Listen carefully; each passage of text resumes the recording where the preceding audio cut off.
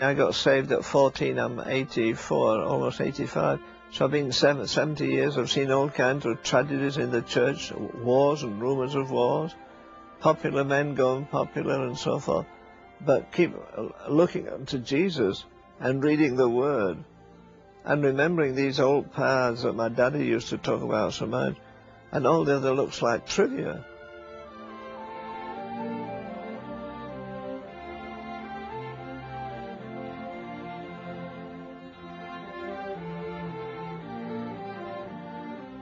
I've often said that uh, I didn't come to Jesus as as an old English hymn like we used to sing so often. I came to Jesus, I was weary and worn and sad. I didn't because I was 14 and uh, I didn't understand my father's zeal for God. I didn't come because I was convicted of sin. I came because of the blanks in my life, like he relished reading the Word of God and he relished going to prayer meetings, even half nights of prayer. And also, more than ever, he relished uh, being a street corner preacher. And that, uh, do you remember the hymn, My faith looks up to thee, thou Lamb of Calvary? Well, the last stanza says, May thy rich grace impart strength to my fainting heart, my zeal inspire. And my daddy had inspired zeal. God lifted the beggar from the dunghill. He completely changed my daddy He'd been to a certain system of religion which made him fearful and uh, terrified of priestcraft and all that. And he got marvelously born again as a result of hearing uh, David Matthews, who went through the Welsh revival. Then he wrote the classic, it's still a classic, on I Saw the Welsh Revival. Well, my daddy had never been in meetings like that. And the fervour and the joy, uh, particularly I remember seeing David Matthews when I was five years of age. I'd never seen anybody preach like he sang like his mouth like an oval, and he had a shock of black, wavy hair, and he had a zeal and he had a joy in the Lord that stirred, and my daddy got saved. Well, as a result of that, as I say, he became fervent in spirit, serving the Lord. I never saw him downcast. I never saw him uh, suggesting about giving up. But, I mean, when he got saved, he, he tossed away his interest in professional football and everything else, which, which of course became a, a style in England. After you're saved, you never go to a movie, you never go to a professional match. There's so much profanity and so forth. And when I saw that, and I saw the joy, and we lived in comparative poverty. We had much money. My daddy was a labourer. And as a result of that, as I say, at 14, he took me to a half night of prayer. There were three other men there, and they prayed, and my dad is a big husky man, taking his coat off at one o'clock in the morning in a room that had no heat, and praying with tears and fervour. From that very day, I recognized as something far beyond what the average Christian had. And then after that, of course, I went to the Methodist class meeting till I was 14, and that was full of the joy Lord. And, uh, I mean, people spoke as though God lived with them all the time, and he did and there was that same kind of zeal there. I mean, even in those days, back in the 19 uh, well, that'd be around 1912, just before World War One, even, uh, there was a half-hour song singing before the Sunday night service, but they didn't sing choruses, except choruses from hymns. Or they sang great hymns like "And Can It Be" and so forth. And you had men who would explode in a meeting when he were singing, and can it be that I should... My chains fell off. One old boy would jump, the tears rolled down his face. He'd strike it up at the end. There's a woman to the left of us. I used to watch her because her neck would go red, and then she'd suddenly burst with a hallelujah, you know. We talk about the joy of the Lord. I've never seen anything like it. Well, at that time, Samuel Chadwick was preaching in the... He had revival on the local level in Leeds, and of course, the conversation in our house, we hardly ever had a newspaper. There's no talk about films, of course, which were just coming out then. It was all about God and missionaries and so forth. Daddy took me to see Paget Wilkes, who founded the Japan Rescue Mission. I was about uh, 12, I think. I heard C.T. Studd give a lecture one morning, and uh, later saw Miss Cable and Miss Francesca French that walked through China and the Gobi Desert and all that kind of... My daddy, wherever there was a anything fervent. I'll tell you, at that time, Doncaster was 25 miles away from us. Well, um, there was a Pentecostal fellowship there, and I forget the name of the Bible teacher, but my dad might get on a bus to town, another bus from town to Doncaster, and then walk the rest of the way to the fellowship and stay there a weekend and come back radiant as though he'd been in the upper room, which he just about had, because um, Smith Wigglesworth was one of the teachers there, and all those guys, and, uh, and nobody in those days scornfully said, faith healing is fake healing. I mean, there were living evidences of people spontaneously getting out of wheelchairs and so forth, but it wasn't that.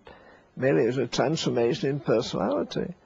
I mean, they went back to the churches and had prayer meetings, and uh, in our town, we had a little man, he's only, uh, I don't think he weighed above about 110 pounds, and for years he fasted and prayed. He was a Pentecostal, which was despised. In fact, his wife said to hear him pray, he'd be praying in another room. It was like, you know, a man having a personal encounter with God. He'd wrestled with God. Well, then George Jeffreys came along in 1927. The whole city was swept in three weeks with the Holy Ghost. And the church in, in, is there today. It's called Bridge Street in Leeds, England. That church is still, it's in its third enlargement. When other churches are going down, they still have that same.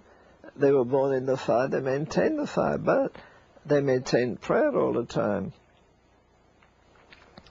Well, then from there, uh, I was in a factory, working in a factory one day, and I heard a voice say, follow me, and I turned, it was so real. I took my tape off my neck, I was a tailor's cutter, put my shears down and pray. and I remember saying clearly to the Lord, Lord, not only will I not go back, I won't even look back. And that day I applied to go to Cliff College, and then went Chadwick was the principal there. Well, Chad, the birds both had a flock together. So the great character in America at that time was A.B. Simpson, founder of Christian Mission Alliance. And also in Scotland there was a man by the name of uh, MacIntyre. Have you read his little book, Hidden Life of Prayer? It's one of the classics. It's still published. Bethany just republished. Well, well, those three men, of course, across the Atlantic, there was no telephone in those days, and mail was slow, but they corresponded all the time because they're all on one level. Well, Chadwick went out, and right opposite his church in the middle of Leeds, there's an oversized statue of, uh, of Queen Victoria with a big spread in front of it, and men used to stand on there and preach. Well, an atheist stood there and he laughed at people coming after church and scorned them and told you, yeah, man standing in a coward's castle, a pulpit, he talks one way, you can't listen to me, and they listen. Well, Chadwick went out and listened to this man scorning the Bible and everything, and one day he said, listen, I've listened to you three weeks, you didn't come and listen to me. You come and listen to me. So I come next. So I came, and there's a big horseshoe gallery, and right opposite the preacher was a clock, and this man, the leader, sat behind the clock, and the other ten men sat with him, and they came to the altar the first night they were there, and it wiped out the whole testimony of the atheists. Then it wiped out the all the devilry in the community at level on a on a on a local uh, revival on a le- local level, and it was all prayer. I mean, he wrote the he wrote the book The Way to Pentecost, and after that he wrote the book The Path of Prayer, and that's where he lived, and that's why it rubbed on, on, on so many of us that we we saw a living example of a man who walked in the power of the Spirit. Well, then, I could go on for long enough, but I won't. Uh, all the time I've tried to feed myself on, I've gathered books, I have a rack of books on prayer and uh, a whole stack of books on historic revival, which we don't have anymore. America hasn't had a revival in the last 70 years that I know of. I mean, revival that closes the shops and as soon as people get home, they want to get to the sanctuary and and they don't stay till seven o'clock till eight. They stay till eight till midnight and after, when the Holy Ghost really comes. I think very often we're praying in ignorance. We want the Holy Spirit to come, but what do we want Him to come for? Just to increase our numbers? Just so our kids won't go to the devil? I mean, are we jealous for God's glory? And to me, that's what revival's all about. Revival is an invasion of God by the Spirit. And if America doesn't have one in the next ten years, it's going to be horrible living in this country. Crime's out of hand now. Immorality abounds, herpes, AIDS, every devilish thing is prospering. plus all the power of the cult, say multi-million dollars. So it's inevitable that we have revival.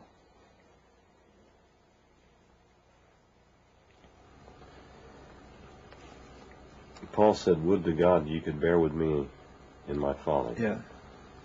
Indeed, bear with me, for I am jealous over you with godly jealousy. Yeah. For I have espoused you to one husband, that I may present you as a chaste virgin to Christ. But I fear lest by any means, as the serpent beguiled Eve through his subtlety, so your mind should be corrupted from the simplicity that is in Christ. For he that cometh preacheth another Jesus, Yeah. whom we have not preached. Or if ye receive another spirit, which ye have not received, or another gospel, which ye have not accepted, Yeah. you might well bear with him. Yeah. Is there another gospel that we're listening to? It's not the gospel. What is that gospel? Well, in England we used to call it modernism, or you call it liberalism here. That uh, I mean, the Baptists now for a long time they've had contention about the the Bible is it the very word of God. I mean, uh, can't we alter it? And as I say very often, we've revised it, but God never has. And I still think the King James version is nearest to the best. And those old-fashioned guys preach it. I I think, brother, this we've almost no preachers in America. Everybody's teaching, teaching, teaching. I think I have 500 tapes in there that people, I think I got 40 tapes in the first month of this year. You must read my interpretation of Revelation. You must read my story. There is, there's, a, there's at least 50 John the Baptists in the country, so they think they are. If a guy tells me I'm John the Baptist, have you increased your insurance? I say, why? I say, you're only going to live six months. He goes, oh, no, no, no. But we're not preaching the gospel. What are we preaching? Well, there's one, was two groups. There's one group now that's preaching signs and wonders all the time. There's another one that says it's love and signs. And, if it's signs and wonders in God's name, what did he do for Judas? He saw everything Jesus did, then look what he did. And what are some of the guys that have been preaching about the Holy Ghost and miracles? Where are they now? One's in jail, the other's in the gutter, comparatively. We've got to get back to the cross. I, if I be lifted up, I will draw all men. You get the Emmaus Road, going down the Emmaus Road, it says that Jesus opened unto them the scriptures, then they opened their eyes, then they opened their understanding. But then, you'd think after they'd, and read the last chapter in Luke, and it says the most awesome thing there, that they sat and talked with Jesus and had breakfast with him. One of them broke bread, and he took, gave him bread. The other one broke a honeycomb, well, can you imagine you giving Jesus personally honeycomb and he puts his hand out, there's a nail a hole through it? And they saw the most astounding miracle in history, the resurrection of Jesus from the dead. And wait a minute, he says, come with me. And they went to what? So the next most astounding miracle, the ascension of Jesus into heaven. Couldn't they live on that? Couldn't they live, live? There isn't a devil in hell will ever move us. We had breakfast with Jesus. We talked with Jesus. We shared a meal with Jesus. Couldn't you live on that forever? Jesus says, no, you can't. Well, we saw him ascend into heaven, not many of us, but we saw him. The two most outstanding things, and yet Jesus has tarried till you be endued. You can't live on the emotion of it. That's the trouble with that the most horrible thing I know that happens in evangelism today. We don't value the human soul. When are we going to get serious about being serious about the most serious thing in the world, the birth of people at the altar? I watched the close of a service in Dallas a few weeks ago. At the end, about 15 people came in four, four minutes. They said a prayer and gone away. Well, the, my reaction to that, brother, was this. I can't get my car through a car wash in four minutes. Can they pass from death unto life? Can they put off the old man and put on the new man, as you use the figure? Can they get married to Christ in four minutes? Of course not. In fact, when you read uh, Seven Pentecostal Pioneers, which everybody should read because it's still printed, it tells you there that they had one place where they had meetings for th three weeks, and I forget the number, something like 964 people came and everyone was dealt with personally. We used to go to a city without money and pitch a tent and stay there 12 weeks. The churches are still there 60 years after. But everybody came to the altar. If you came, I'd come with a Bible at the side of you and ask you what your problem was. You wanted to be saved, we took you through the scriptures. If we spend an hour, so what? I don't often watch TV. I watched a special, there was a special about three years ago, uh, of all the things they were going to show on one of the, uh, what, what do you call now? well, it was a special on animals, the birth of a giraffe. Now I said to Martha, well, darling, I want to see this. So anyhow, the guy said, now listen, I've already gone through this once, but let me show you. And he brought in this this female. He said, look, her head is 14 feet from the ground, which I thought was a long way. Now here's the male, his head is 19 feet from the ground. Now watch. And he said, I've been through this, so watch. And he said, we bring the camera right in front of the giraffe. He said, now look, she's spreading her legs at the back. You see that black thing hanging? That's a little baby, and it's going to fall five to six feet, according to the height of the animal, onto a bed of straw. So what's that got to do with the gospel? It broke my heart. Why? Because I watched that thing. And he said, now watch the next, now you see the thing's coming now, now watch, watch. He said, there. And the thing dropped to the, onto the, onto the big bed of straw. And he said, now this takes between three and four hours. And he said, now watch. And the little thing tried to get up and it rolled over. It tried again, it rolled over. It tried up again, it rolled the other way. Now watch carefully, he said. And the next time it tried, the mother put her hoof behind its, its backside and lifted it up and it stood up. And she turned round and nodded. And the little thing nodded.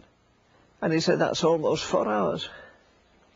So I ran into the room to pray and Mother said, what's wrong? I said, darling, I said, it takes four hours to get a baby giraffe born. It doesn't take four minutes for somebody to get born at our altars today. Oh, well, Graham said it more than once. Just stay a few minutes. Stay a few minutes in God's name. What do you mean, stay a few minutes? Was Gethsemane a few minutes? Was the temptation in the wilderness a few minutes? We're trying to get people. I guarantee that not 5% of people in America or England are genuinely born again of the Spirit. They're born again of a decision. They give up a few lousy habits, some of them, and some of them don't. They go right back. And then you tell you there's nothing in it. Dear brother, I, I was at a certain place. I preached on the new birth. I thought there was pretty much liberty. And uh, uh, I said, if any of you want this experience of birth in Christ, come forward. The men come down the aisle and go to the room on the right. Women go down on the left. So there were about half a dozen in each group. Well, that was that was uh, nine o'clock, and we stayed in that room till ten, helping men, and they were really broken before God. Then at ten o'clock, there's a knock on the door, and I said, "Come in," and it was the pastor. And he said, "Can I bring this lady in? Will you pray with her?" I said, "Well, if you stay." She was a big, gorgeous-looking blonde. She sooner hit the ground than she burst it, and she said, "Mister, I want to tell you something, Mister Ravenhill." I said, "Well, tell me. I'll listen." She said, this is the 14th time I've come out for this. I went to a certain Bible school for three years. We had three revivals a year. And each time I went, that was nine times. And he said, since then I've been to other meetings. Somebody slips their arm around me and says, don't worry, dear. Jesus paid it all. He knows when you said you're sorry that that's all that matters. And I said, that's not true. And I said, that we'll stay with you while you really get a real relationship with God. So we stayed and she passed from death to life. How do I know? Because two years after I was passing the church, she was coming out with a Bible, and I said to her, he said, that's the woman you prayed for the last time you were here. She's the best Bible teacher we have, but the thing was, before she got saved, and back to Bible school days, she got married, she got divorced, she had a child, she had a broken heart, a broken life. It would have been avoided if she got saved the first time. But she didn't get saved. She made a mental decision. She wanted to be better. She wanted to go to heaven. But how many people really want to know? I mean, isn't the essence of Christianity Christ in you, the hope of glory? There's no other religion in the world where a man's God comes and lives inside of him. And we've made it appear as though if you get saved, of course, you're going to give up all your joys, you give up these crazy habits, you don't go to movies, you don't go to ball games, Christ is all you want. But what on the other hand? What about peace that passes all understanding? What about a home eternal in the heavens? What about the eternal aspect? We don't present that. I got, two fellows in here the other week, and they came from a certain, well, actually came from Criswell Seminary. And one of them said immediately Mr. Riley, I know to put a sermon together, I know to get words together, but I've no power. The other man burst into it. I said, I just opened a, a paper and your, your picture's in there. He said, well, I didn't put it. I said, but you're a preacher. He said, I've had 300 people saved in the last three months. I said, how do you know? And he hadn't an answer. Well, he said, I don't know. I've often wondered. They'll come out and say a prayer and go out and live the same. I said, they don't if they're born again. You become a new creature. If any man, anywhere, at any time, be in Christ. And there's no better example of that than Dave Wilkerson with all the people he covers, unless, I don't know if you know Jackie Pullinger, you know Jackie? Well, she was here to see me. And I mean, she goes, she doesn't go out till 10 o'clock at night. She goes to the gutter. She goes to the outcast. She goes to the prostitute. She goes to men that have smoked opium for 50 years. She goes to women that have prostituted for 40 years. You've got to have a gospel. You can't give a mental flip to those people. And she stays with them until they're born again of the Spirit of God. As one of the most amazing works in the world as far as I'm concerned. But where are the people? I mean, you add up all the people who made a profession of Christ in the last few years of our crusades, or let me put it here and then quit. Had a, veteran missionary from South America, he said, before I came up, Brother Ravenhill, I was talking to a veteran missionary, and he said, Brother, if you add up all the crusades in South America and all the people, everybody in South America has been saved five times in the last 15 years. Well, isn't it the same in this country? Are we talking about how many people came to the meeting, how many people came forward? Why aren't the churches increasing? I had a lawyer call me from one of the greatest churches in the country, said, Mr. Ravenhill, at least a thousand people walk down the aisle in our church every year. And after three years of doing that, he said the church is still the same size. We still have the same seating capacity. The prayer meetings haven't grown. There's no evidence except that these people come forward every Sunday. Why haven't they? As I said to you earlier, dear brother, the darkness of this day is the gift of the church to the world. The street meetings have gone. Dear God, we've all kinds of ministries around here, but Tyler goes to hell. How many churches do you have in mega churches in Dallas? I guess you can't find one street. I spent 50 years of my life in street meetings. Every Saturday night I went out at 9.30 till midnight and after. Every night, for, whether it was snowing or raining or what, we went out to the same place and people came out of taverns and out of movie houses at 10 o'clock and stayed an hour and two hours in the cold. No air-conditioned buildings. No nice, no attractive singers. Just testament. I, I call on one man said this man was in jail. This man used to run around with women. This man has a prison record. This man over there used to beat his wife and they transferred. This girl was a prostitute and put them out, living flesh and blood. Nobody could argue. People would stand and say, why are you the only preacher in the town does this? I don't know except God told me to do it and I do it. Well, that's where the lost people are. A man would be an idiot to buy a hundred dollar fishing gear and fish in his bathtub. And that's all we do in church. We're fishing with the same people every week. And people are dying without God. I'm glad, dear brother, I was raised in a church where we had a... I know the preacher's often boring. I devoured the Methodist hymn book 80 years ago, and I can recite still dozens and dozens of hymns. And one was a hymn by Andrew Bonar, Go labour on, spend and be spent, thy judge do the master's will. It is the way the master went, should not the servant uh, tread it still. Men die in darkness at your side without a hope to cheer the tomb. Take up the torch and wave it wide, the torch that lights time's thickest gloom.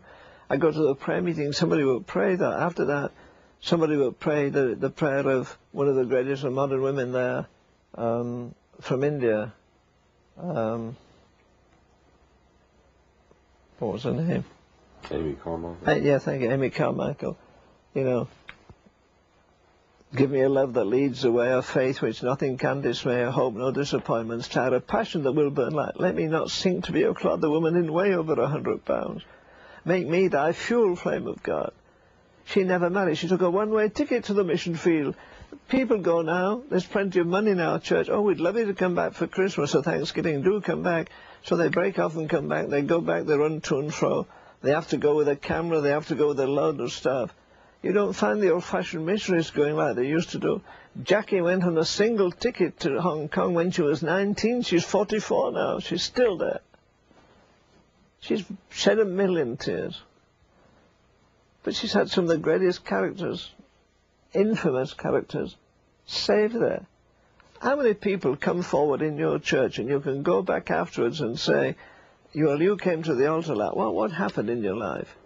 I think that everybody that comes to the altar, we should visit them during the week and be sure that they did pass from death unto life, because what happens? They say, well, I've been out twice, I never got anything. Well, they can't, because what to do so mentally. I don't see any brokenness. I see kids come forward in a, in a crusade, they're laughing and joining hands, they go out, and the first thing they do is stop at a, um, a hot dog place or something. They don't go home to grieve and read the word and find out if it's true. They go back full of jollity and they sing on the bus and we had a wonderful time. But what are we doing? The summer's gone. The harvest is harvest past. is past. And we're not saved.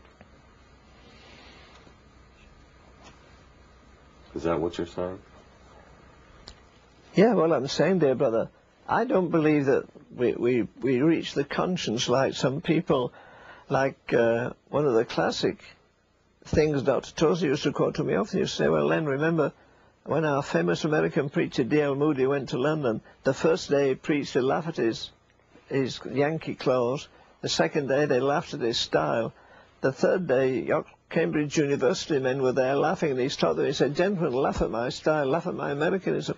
But he said, in God's name, don't laugh at the word of God. He says, the word I would just as soon handle uh, fork lightning. But what happened? Here's an illiterate man, he, comparatively no education. He goes to London. He goes from London to Scotland, where Alexander Whyte was the king of the pulpit at that time. And Alexander Whyte sits on the edge of his head with his mouth open. Well, what, what has this man got? He doesn't know history too well, doesn't quote scripture very correctly, but there's something about him. So much so that across town, there's a man, I don't know if you a book called, uh, know a book, written by Henry Drummond, the greatest thing in the world. It was one of the greatest classics ever. And Alexander Whyte says to Drummond, hey, come over and hear this fellow. We haven't done an evangelist like this. And they were spellbound. What would have happened if he'd gone to London for three days? He didn't. He went for eight months. He went to Scotland, and, and, and there's still the uh, the tent hall is still there. I, I think they call it a tent hall because people came out of the tent that Moody had and went in that hall. Also, the, one of the greatest Bible schools ever, uh, Glasgow Bible Institute, was founded because of that. And the money was given to him. Well, I'll tell you, you talk about a background. One of the most wonderful men I ever saw was C.T. Studd. Well, C.T. Studd's daddy used to buddy with the King of England. When I used to, I used to do in World War II, I went to one of the largest uh, Air Force camps in, in, the, in the nation, and I had to go up a hill, and to the right, in the moonlight, I could see this estate where C.T. used to live with a private racecourse. Well, C.T.'s daddy went to London, uh, mixed up with all the society. Then he heard about this Yankee preacher, well, let's go. Well, when he got there, somebody asked a man to pray while, uh, while, um, what do you call him now? While Moody was on the platform going to preach, they sang a hymn and said, pray. This guy went on and on, and Moody jumped up and said, let's sing a song while this fellow finishes. So immediately they were happy, you know, the guy wasn't tied up to formality. Well, they listened, and C.T., I think his father got saved there, and as a result, it took the, the three most famous cricketers in England. C.T. was the Babe Ruth of the English cricket. cricket. Well, they went, and the whole society like that went. Well, C.T. joined up with the other six, and they formed the Cambridge Seven and went to China. I mean, there's all kinds of things happen out of that. One revival of an illiterate man that didn't care if they laughed at his clothes and everything. And he received opposition. Well, nothing happened like that till the 1920s, or 26 or something like that, when, when uh, George Jeffreys went to whole crusades in England. And Stephen Jeffreys had greater uh, works than that. And they go to a town without a penny and believed God to fill an auditorium with 3,000 people in a week, and they did it. And they weren't great expositors. Brother Ravenhill, in Jeremiah, the prophet says, Thus saith the Lord, Yes. Stand ye in the ways and see, and ask for the old paths. Yeah. Where is the good way? And walk therein. And ye shall find rest for your souls. But they said, We will not walk therein.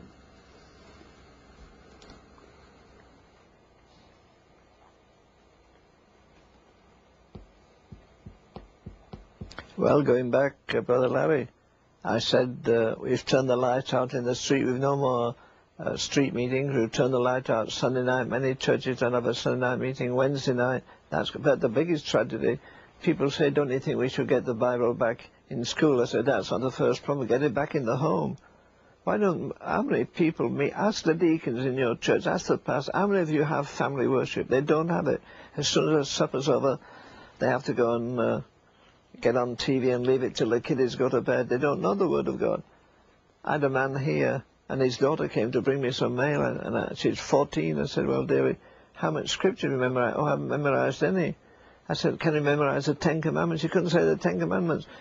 Two days after, a young guy came, he lives across town, he has seven children. The eldest boy is 13. He's memorized every word of every chapter in, uh, in uh, Proverbs and the other boy is 10, and he's memorized 12 chapters of Proverbs, every word. The man gets up with his wife at 4 to 4.30 in the morning. They have an hour together with the Word of God.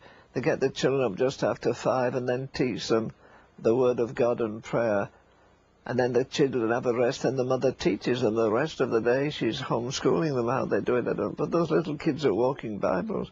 But we don't know the Word of God. Two things we don't know. In fact, I said to the seminary men, do you know God? Well, I, I, I didn't know, no. I, I answer yes or no. Oh, oh, I learned Hebrew. I didn't ask if you know Hebrew. Do you know God? You ask 10 young people in your church to answer in, in less than 50 words, why did Jesus come into the world? To save us from hell, to save us from sin. And so they go on.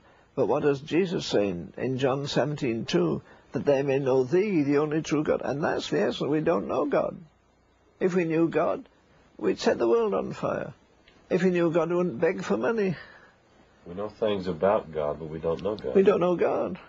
Well, I want to tell you then, in 1932 I preached in Swansea, South Wales, in a little upper room, and a, there's a lady there with white hair, and she said, uh,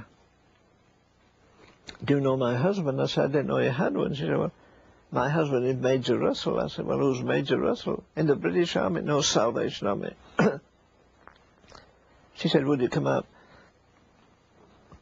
Come up and have a meal with us. I said, well, this is a crusade. And he said, I only have Friday off. I said, I'll take the bus and come up to a place that's called Rovina. I'll come up Friday afternoon. She said, well, come and have some tea and, and we'll talk. So here's a grey-haired fellow sitting and I said to him, well, it's a privilege to come and talk with you. How old are you? He said, well, I'm 82. And he said, I'll tell you some things that when you're my age, I said, I never lived to be 82. Well, I'm 84 now, nearly 85. But uh, he shared the office with, with William Booth, the founder of the Salvation Army. I said, what were the days like? Days like heaven on earth. He said, God the Holy Ghost came. And he mentioned a certain place which is on the Strand in London. He said, now it's, it's a, a theatre in those days it's a, a hall you hired, and movies weren't uh, houses and theatres weren't open on Sunday, so you could rent them on Sunday. So you used to rent them Saturday and Sunday. And he said, uh, he said, I've been in that meeting. He said, people won't believe you when you tell them. And then I was, that was 1932, so it's almost 60 years back. And he said, when you tell them, won't believe. I said, whether they believe me or not, tell me. I said, I want to know. I don't care if it puts my nose in the ground. Don't care what you say, as long as you realize that as you're a link with the past, at my age of 82, I'll be a link with another generation that doesn't know God. So I said, well, I'll tell you what happened. He said William Booth could preach like nobody else from Jeremiah. The harvest is past, as somebody said it. Oh, his favourite was, and he had a gruff voice, if thou run with a footman and they have wearied thee, I will now do in the swelling of the Jordan. Fire a volley, which meant say hallelujah, so they all roar hallelujah, you know. And he said that, but what William Booth could, he could get men trembling, he said. He said, as a matter of fact, you give them a hymn book of maybe 25 pages, and they'd sit with it on their lap and shred it while they were, they were so disturbed. He said you could see where these men had been, all the back pews were full of shredded hymn books. The same thing happened in 1926. I talked with, uh, I talked with the greatest revivalist uh, Ireland's ever had, W.P. Nicholson. He said, Brother Len, he said people used to shred the hymn books when we listened. They were under conviction. They were so nervous. And sweat would run off the noses. Not that it doesn't happen anymore. Anyhow, going back to this, he said the old William would preach hellfire boys and he could make you shake. And he said, but he could make an altar call. So he would say, now come to the mercy seat, come to the mercy, come, run for your life, you're going to hell. And he couldn't get anywhere. So he'd, he'd shout out, where is Lawley, where is Lawley? Well, Commissioner Lawley was one of the stalwarts of the Salvation Army, like Brengle. And he said he was under the platform and it come out, and they used to hang close to each other, you know, like somebody gave me your suit, it would be hanging down on me, and Commissioner Lawley's coat was down to his ankles, but he said it come out on all fours and do this, there'd be a cloud of dust, and then Lawley would begin to make an appeal, you know, come to the mercy seat, and he said the altar would be lined, but sometimes they wouldn't come. He said the general would turn around and roar at us, you know, pray! Boys, everybody looked down and prayed. And usually there's a break. But he said this day they prayed and nothing happened. So he said again, pray. He said everybody's nervous. Hey, what's happening to the old boy? He's angry, he's angry. Well, let's pray. And he said, Lord, Lord, move right now, move right now. And he said, uh, nobody came, so a third time he'd roar, you know, get hold of God. He said, this meeting is going to go to hell. These people are perishing. Some of them are wealthy, some are poor, some are ignorant, some are backslidden. Pray. And he said, the Holy Ghost would take hold of men on the back seat and lift them bodily over the congregation and drop them at the altar. I've said to Pentecostals, you saw that, you'd run for the door, you say spiritism or something. I said, but there was an unwritten law in the Salvation Army. They called their churches a corps, you know, like uh, like the army does, C-O-R-P-S, corps. And uh, it was an unwritten law in the Salvation Army that when you finished your street meeting at 9 o'clock Saturday night, you go to pray till midnight.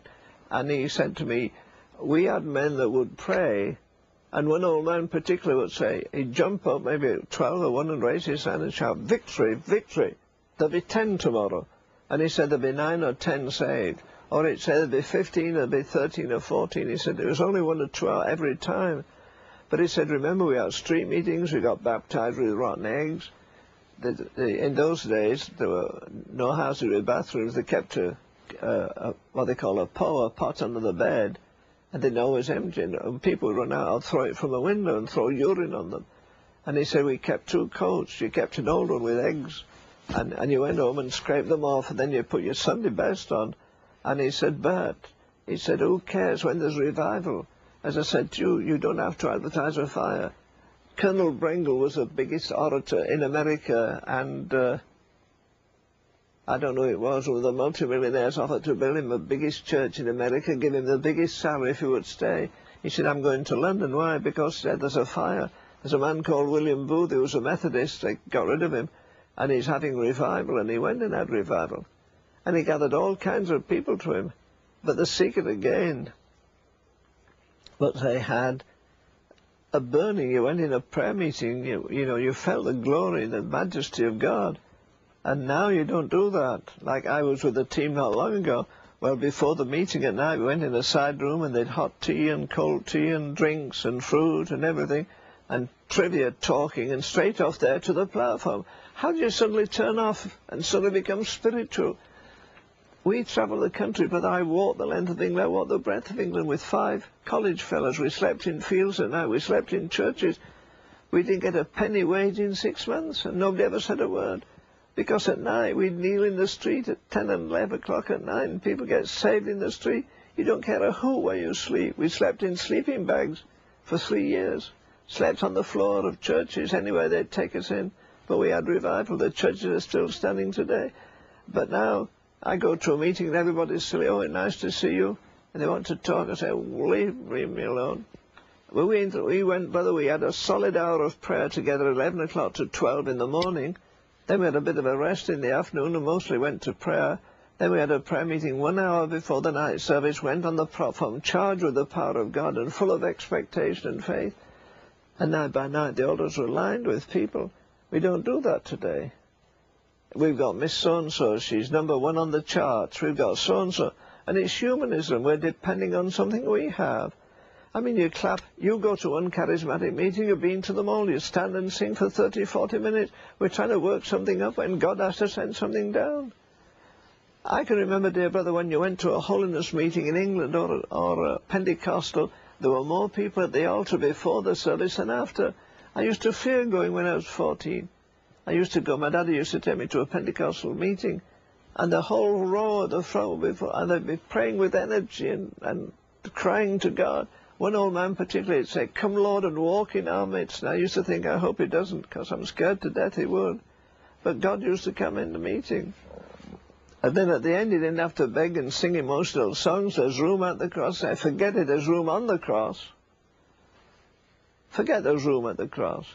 Get on the cross. And as Tozer said, a man going down the road with a cross, you knew one thing about him, he wasn't coming back. Our people don't want to die.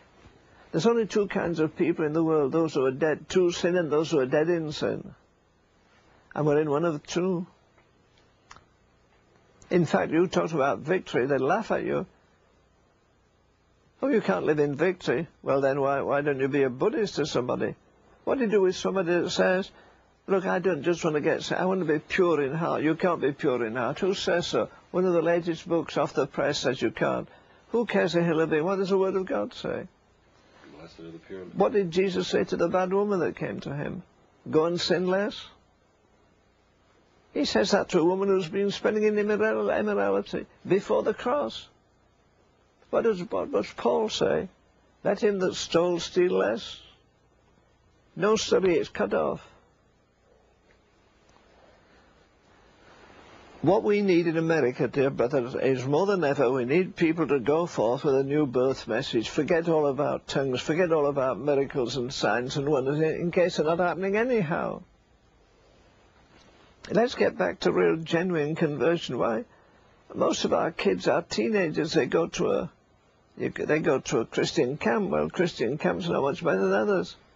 I mean, I had a missionary here, very one of the few men I really respect in the world he came from India and he came through Hawaii, so he went to a very famous Bible school there. What do you think of it? He said, well, he said the girls' shorts were so bad when they came toward me, I was disgusted. When they went the other way, it was worse.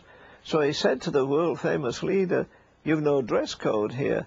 He said, what do you mean? He said, well, the girls come towards me. He said, you can't tell they've shorts on, they're so short. When they go the other way, they're terrible. And the reply he got from the famous leader was, as long as their cheeks are not showing, they're all right. So as a girl's backside to be showing, they, you can't even not preach holiness, you can't preach modesty these days. Because kids are used to getting saved and going straight back to the old way. They go mixed mate, mixed mate in some of the meetings around here. They'll have two missionary groups go to Wet and Wild. But what do guys want to stand with half-naked women, women in bikinis or as near as they can to that? I had a man came to see me a few weeks ago and he said, uh, He'd been to a minister near here. And he said, I went to the meeting last night. It was very good. I enjoyed it. But then he said this morning, they said we were meeting at the swimming pool. He said, there was my wife. For the first time in her life, my five children saw the mother almost naked, standing in a pool. And I realized this is not for me. And he left it. Another man left not after. And he said, we, if you can't have modesty, where can you have it? And they don't want to pray. They have no appetite for prayer. But the old Salvation Army thrived on prayer. The greatest revivals in history, the Shantung revival, when uh, well, what was over there? Monsen was there, and uh, the woman that died last year, 100 years old, uh, Bertha Smith with the Southern Baptist, she was born again. She was filled with the Holy Ghost in that revival and they expected God to move in phenomenal ways. They didn't advertise it. You don't have to advertise it. What we need is God in the midst. If God is in the midst, a lot of our stuff would never take place. Just let God come.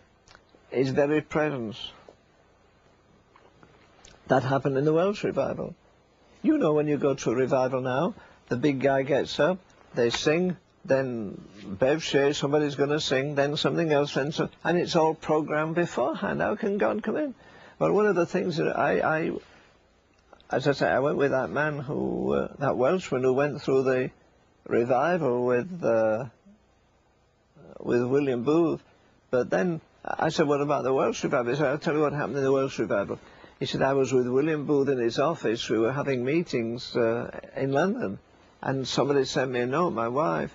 Revival has broken out. There's a young man in his 20s, Evan Roberts, and he's packing everywhere he goes. He won't even let them publicise him. He won't let them put his picture in the paper. They'll just announce he's coming to Swansea, and every church in town is filled because they don't know where he's going. So he said, well, I knew I, Friday afternoon I had I could leave uh, Friday afternoon and that Saturday free, and I could come back Sunday and get to the office for Monday morning. So I said I went there. Meeting was crowded. In one meeting, Evan Roberts comes in. There's 800 people, which isn't big for America, but there it's the largest hall in town. And Evan walks down to the front seat, sits down, bows his head, and prayed for three hours. Our people walk out. But then he stood up for 15 minutes. He said, you ever heard not like it in your life? The Holy Ghost came upon him, and he was a big man. When he prayed, God just came down as though he jumped in the audience. And that happened more than once. But he said, once I did that young man, and of course the Welsh can sing like nobody on earth, Guide me, O thou great Jehovah, these are the great hymns. And he said at the end of the meeting, he said, uh, of course you end the meeting with no, no, no, no, no, no. He just, after he'd uh, prayed for three hours and spoken for 50 minutes, he went out. At 10 o'clock at night, he prayed the whole night for the anointing for the next day. Our guys don't do that. They go sit and talk and say silly jokes. We want to be spiritual and carnal, spiritual, carnal, hot and cold, all out for God, all out for the cowboys. God says no. And you've done it for 25 years, why not quit and start something different? Okay. So then, he said, I, I stayed the first day. Boy, he said, I was hooked. Here's this young man preaching like nobody had ever preached in my life. Praying as nobody had prayed, in tears.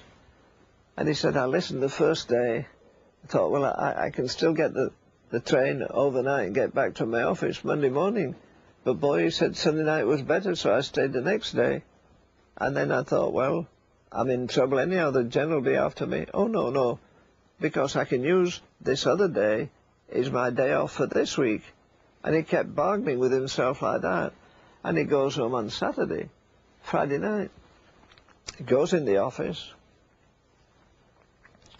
he said, William Booth just turned around and said, Russell, where have you been? You know, barked at me.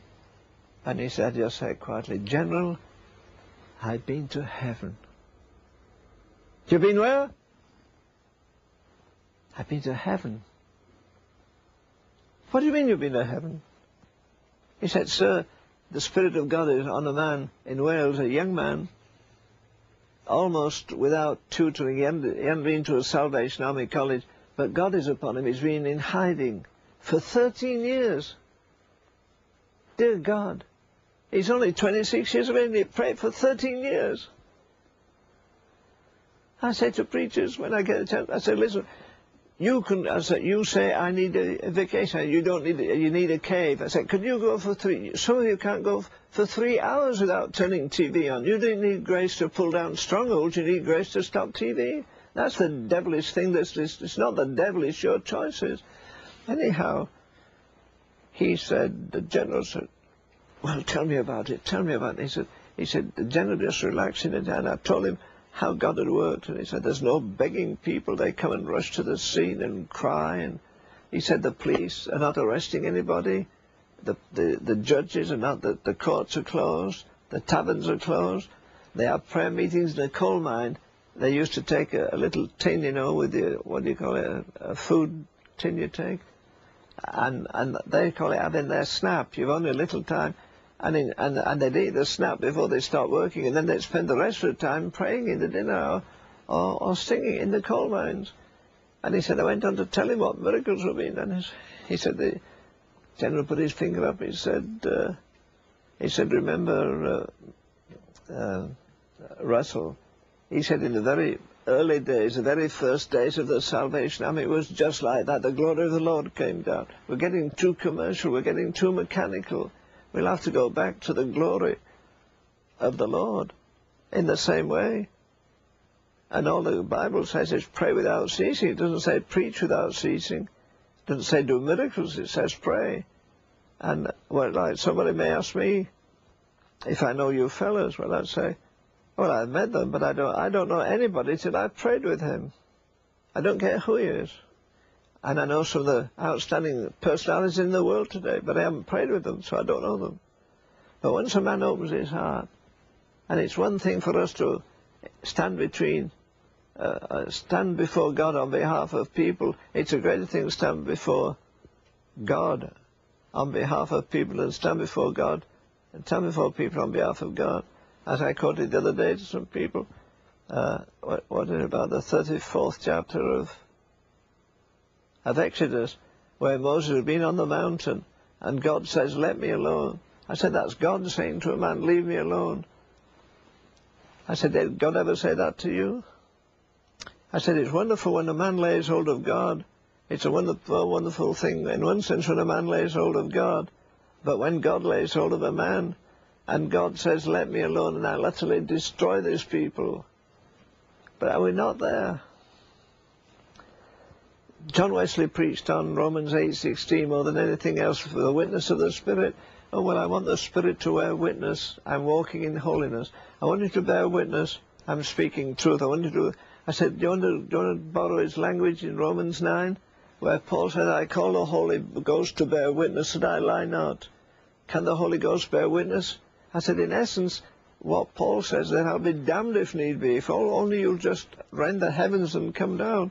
And I said, you keep, you keep praying again, Isaiah, what, 64? For, oh, that thou wouldst rend the heavens and God shoots back, rend your hearts and not your garments. Don't put a one-hour prayer meeting on. Make it a lifestyle. I used to, I told the deacons the last church I had in England, I said, listen, I'll take the church on this condition. Number one, that you meet with me at least a half hour to 40 minutes before every service. Number two, you abolish offerings so we don't have to beg from the poor people. And that you meet with me Friday night, 9 o'clock till midnight. We did and got turned that church, church round. And I don't know any, any ministry that's had the same time in prayer. Have you read, have you read George Burns at all?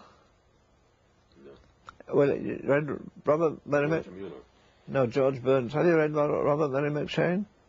Yes. Well, well, Murray M'Cheyne. I stood outside of his church in uh, in um, anyhow, it's on the coast of Scotland, Aberdeen, Scotland. Well, he was a man that prayed and wept and prayed and wept and prayed and wept until his health went. So he went to be a missionary. He was a brilliant man in Hebrew, and he went and had a rest in uh, what was Israel then or Palestine. And while he was there, W.C. Burns came in the church, and the Holy Ghost was upon him, because he'd spent days and weeks in prayer. And the whole town was rocked with a revival. The whole city was moved. There'd never been revival before or since, except the Kilsyth revival. So anyhow, W.C. Burns has this tremendous move of God. And we would book him up for London and book him up for Manchester. Oh, the anointing is on him. Open the way, let the guy go out of that, God picked that man up, dear brother, and took him to China and dropped him in China, and he died unknown from a modern Pentecost. Go and pray. And he went and prayed and fasted and wept in that area. So what happened? After him, Jonathan Goforth went. Mrs. Goforth says, they will go to a meeting in the morning at nine and stand and sing and praise God and they still be praising Him at five o'clock. Nobody sat down, didn't even know they were tired.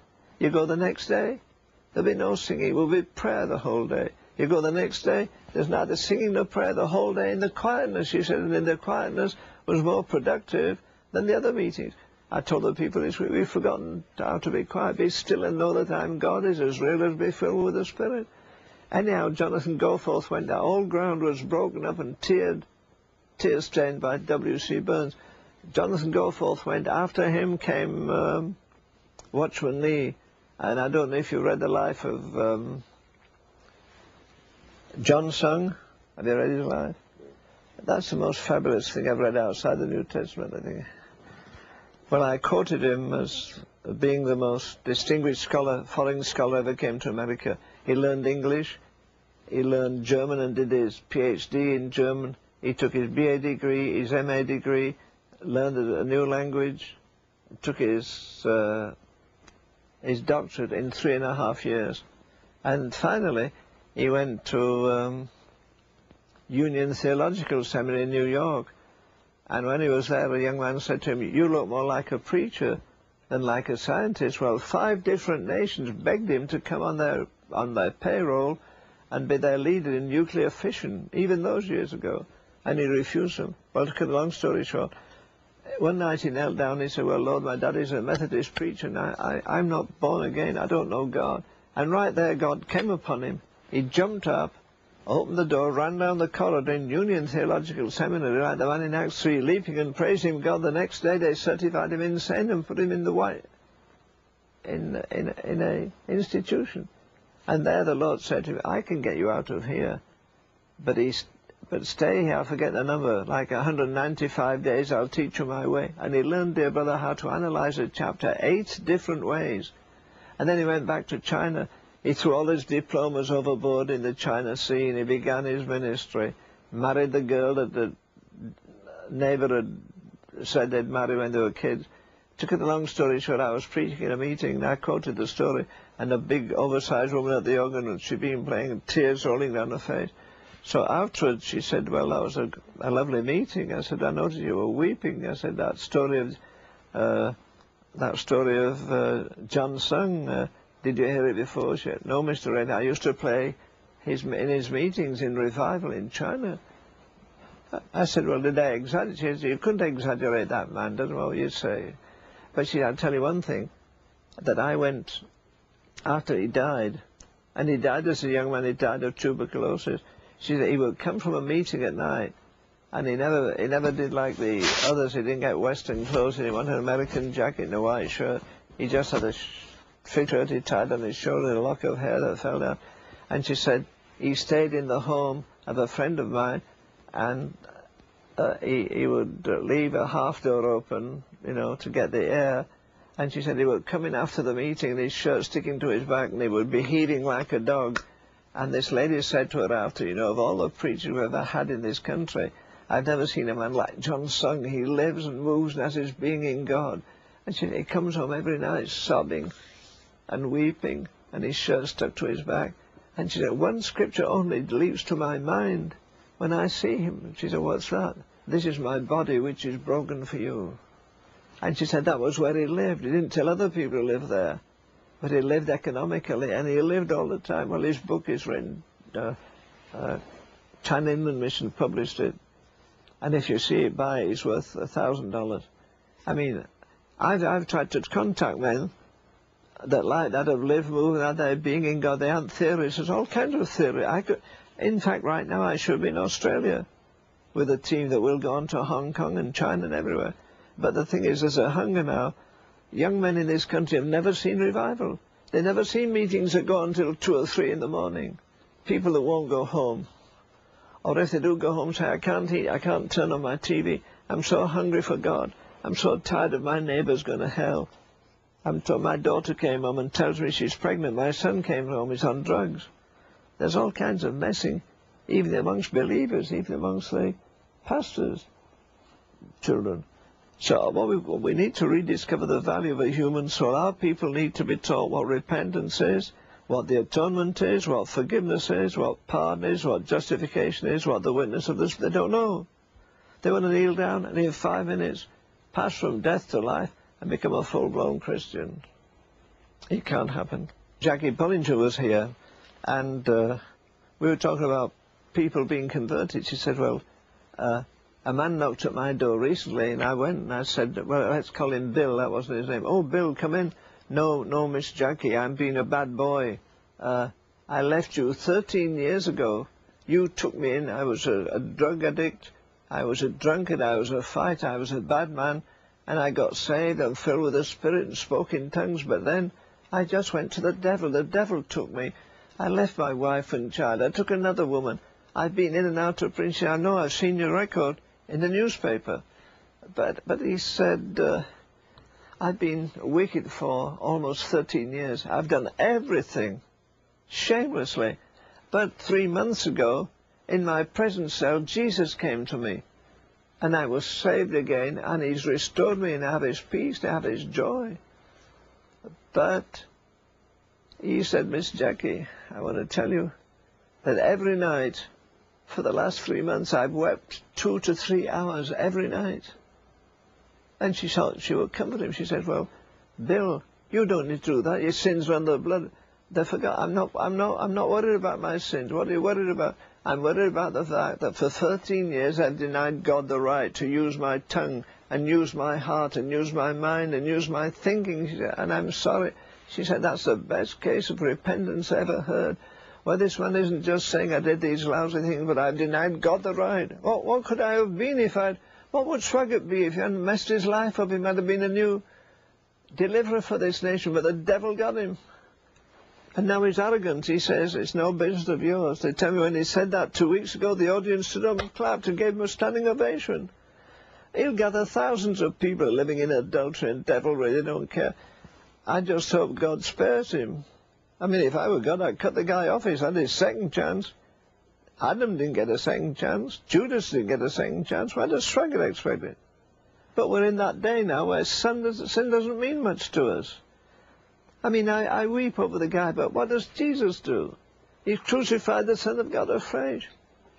I was reading last night to Martha. I said, darling, look, I don't understand this. In fact, I wrote to a friend at 2 o'clock this morning where, what is it, 2 Corinthians 3 says, uh, the fire shall try every man's work.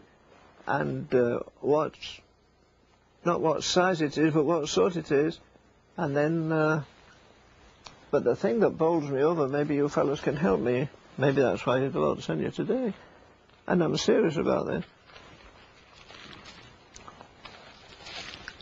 I think it's First Corinthians. Yeah, 1, 1 Corinthians 3, that's right.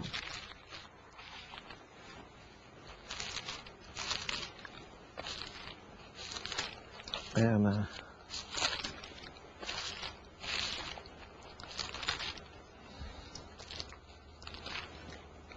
1 Corinthians 3, I think. Verse 13. Yes. Everyone's work should be manifest, for the day shall declare it. Well, let's, let's put it in a nutshell. Dear brothers, when you and I go to the judgment, we're not going to have our passports checked. We're going to have our baggage checked. What have we been collecting all our lives? If men bill about, okay, Look at verse 13. If any man's work shall be made manifest, the day shall declare, because it will be revealed by fire. The fire shall show every man's work what sort, not what size it is. Now, if any man's work abide, which is built thereon, he shall receive a reward.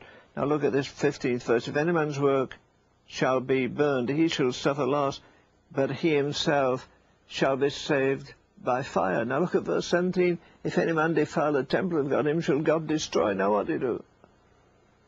God's going to destroy that man.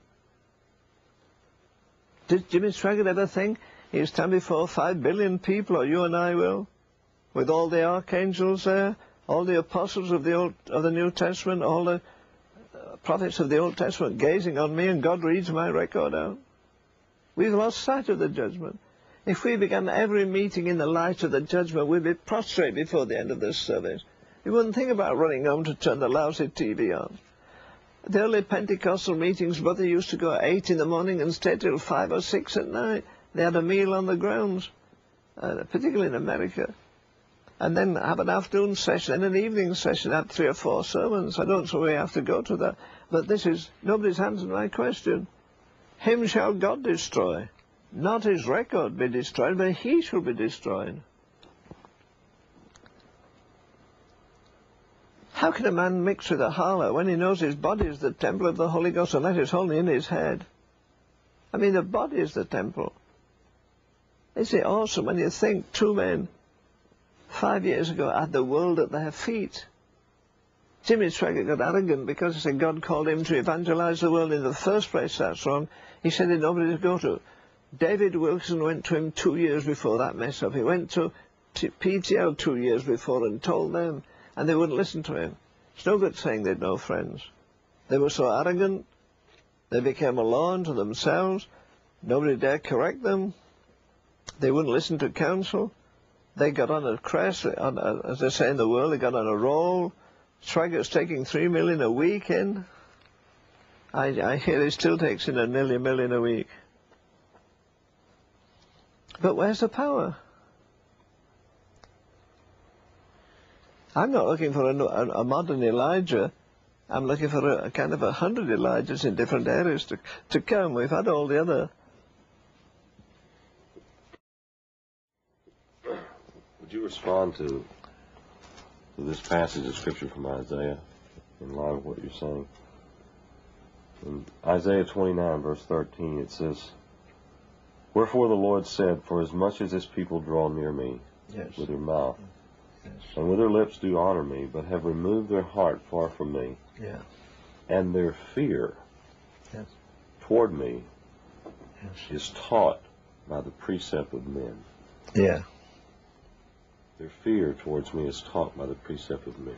It's all been watered down. I mean, don't fear.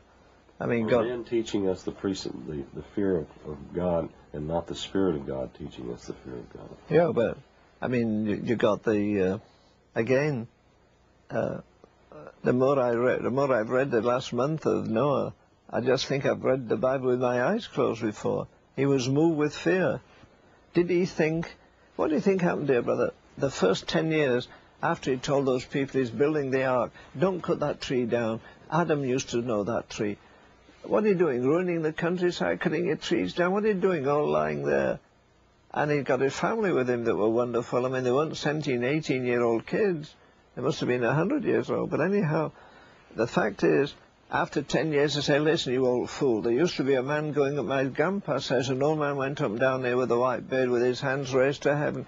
Remember, they'd never seen a Bible, they'd never seen a priest, never seen an altar, never seen a sacrifice. And yet, Enoch walks up and down, doesn't care a hill of beans. And God made a hole in the sky, and he saw something that hasn't happened yet. The Lord cometh with ten thousand of his saints. We think gentle Jesus, meek and mild, is coming. Forget it.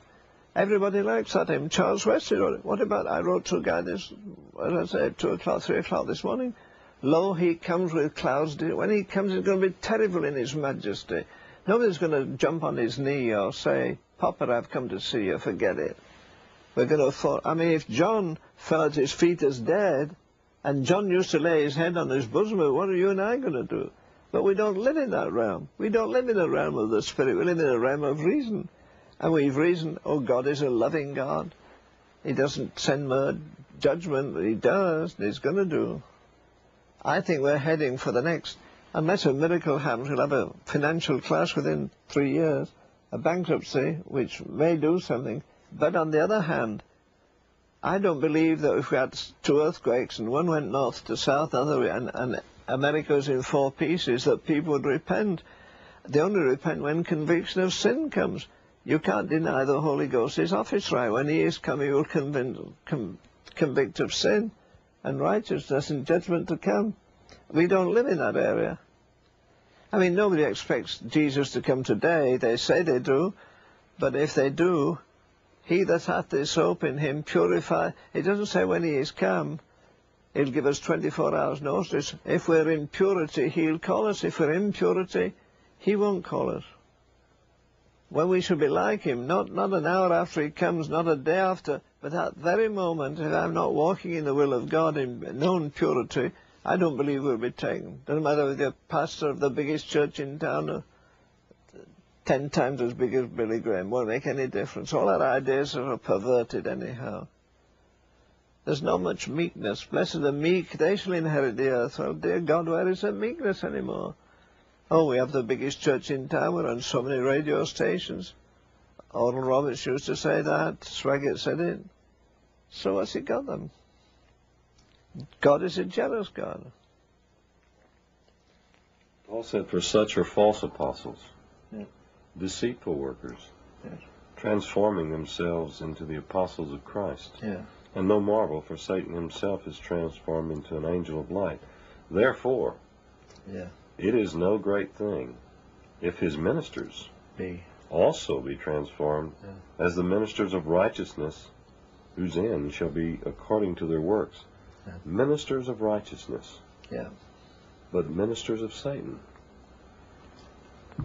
Don't you think that, like when you talk to some people, uh, about victory in the Christian. Oh well, my righteousness is as filthy rags. As I will get saved.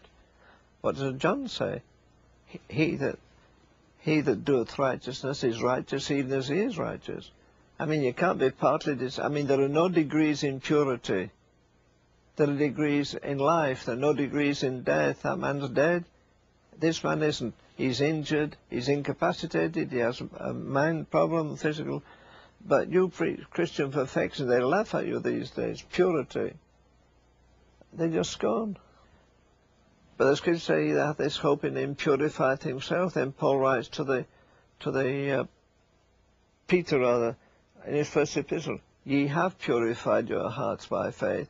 As I said to a congregation, you're just as spiritual as you want to be. All these men here only had the same Bible I have. They used it better. They'd only 24 hours on the clock. I could do with a 48-hour clock, and I'd still use it. Now, but, are you, now are you clean by the word which I've spoken yes. unto you?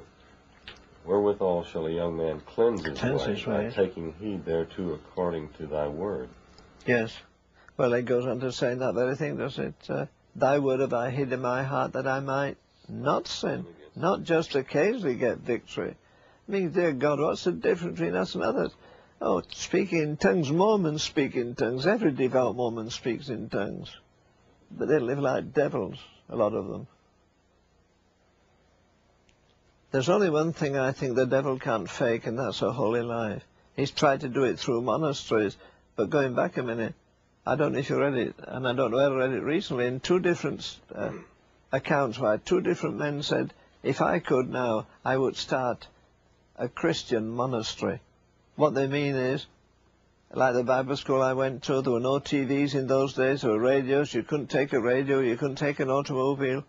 When you went on the campus, you stayed from uh, October till Christmas, then went home for a few days, came back and stayed till Easter. You go off the campus except have a haircut. You couldn't go shopping. You couldn't drive a car, anything.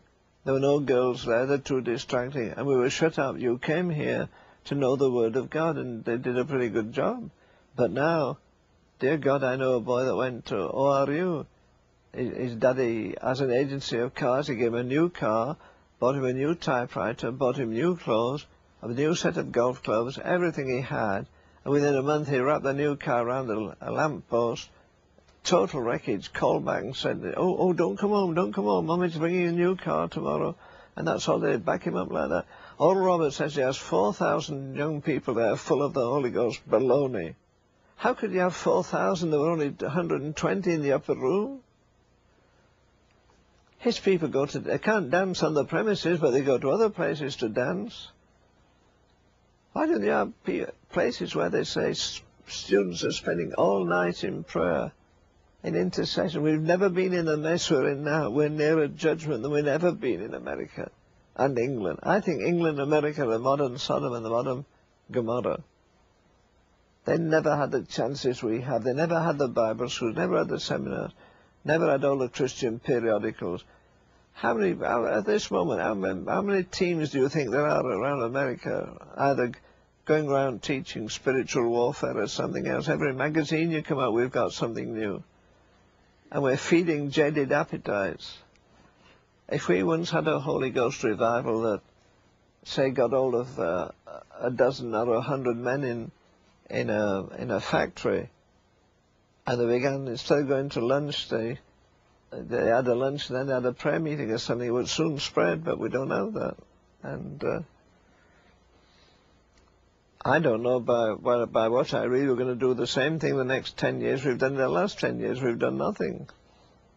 But it's like uh, Spurgeon said, you, you see there's a stick there and it's the most crooked stick you've ever seen. Don't argue about it. Put the straight stick at the side of it. You see, the trouble with our young people, brother, they don't know. They don't know what they believe. Like John uh, Fred Wolfe has one of the biggest Southern Baptist church in in, in Mobile. I've preached there, and he's put a new building up since, since 4000. And he says, he said, we feel responsible for 11,000 students in this area. But he said, I wonder why it is. In their sophomore year, which is what, the second year that they're in college, they leave church. Well, you can guarantee those kids went to Daily Vacation Bible School, most likely went to a Christian camp, I guarantee 99, 95% have made a profession of Christianity. When they get away from home, I'm not going to go to church. You can play sports here. You can go down to the sea and bathe. You can have a... Why did they desert like that? I mean, why don't they have an appetite for God? But they don't. I mean, three weeks ago, the, the fellow that's taken up the uh, to be assistant of, of Dr. Criswell, he blasted uh, uh, Baylor University, the mess it's in. But then guys me going to Baylor, uh, it's not known any longer as a spiritual place. It's known now as a, well, it's a liberal arts college, and it's known mostly for its football team. But why do the kids suddenly have no appetite when they get teenagers, get away from home or won't have to go to church Sunday night? My folk have made me go every Sunday. They have no appetite. So there's no relationship with God. And if we spent time at the altar and took them through step by step what it means to become a Christian, your life is hid with Christ in God. You're not your own. You're bought with a price. That you've no time of your own. You've no money of your own. You've no interest of your own. Christ must become a complete master. We don't do that. And unless we do, we're not going to have a change. I mean, there are people who are really hungry. There are people that meet Dave Wilkerson's folk on the streets. Well, I've never seen a Christian in my life. Well, uh, what what they say, the average church member is just like us. Very often they're smoking till they go in the meeting at last. At last minute when they come out, it's the cowboys or something. Where, where's the difference? And it isn't there. But it all comes down, I don't care whether it's Swaggart or PTL, it comes down, it breaks down with personal devotion to Christ. They quit praying, they quit reading the Word of God, they haven't time. And therefore they start rotting from the inside. There isn't a nation big enough to destroy America. We'll destroy ourselves. The present rate of development in herpes and AIDS is appalling. The, list, the lid hasn't been taken off the thing yet. I don't think the government dare tell us what's happening in the country.